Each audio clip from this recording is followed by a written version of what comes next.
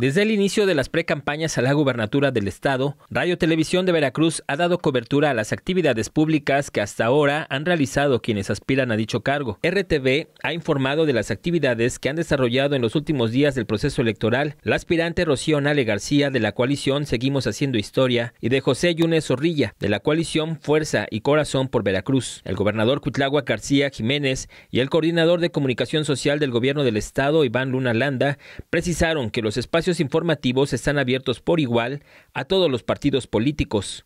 Los espacios noticiosos serán obligados a darle lugar en su espacio de noticias a todos. Sí. Y además, ¿qué ofrecí?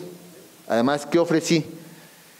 Que en ese espacio de ocho columnas se les preguntara a los candidatos si quieren asistir. Es de política, es de em, conversación política, se habla de política, eh, se habla de varias cosas que tienen que ver con acciones de gobierno.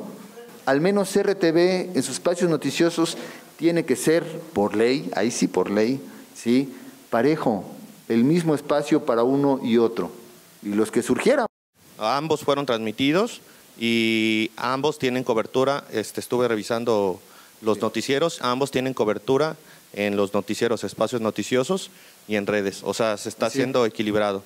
De esta forma, RTV cumple su función social y como medio de comunicación público, de acuerdo a los actuales lineamientos electorales. Héctor Juans, RTV, más noticias.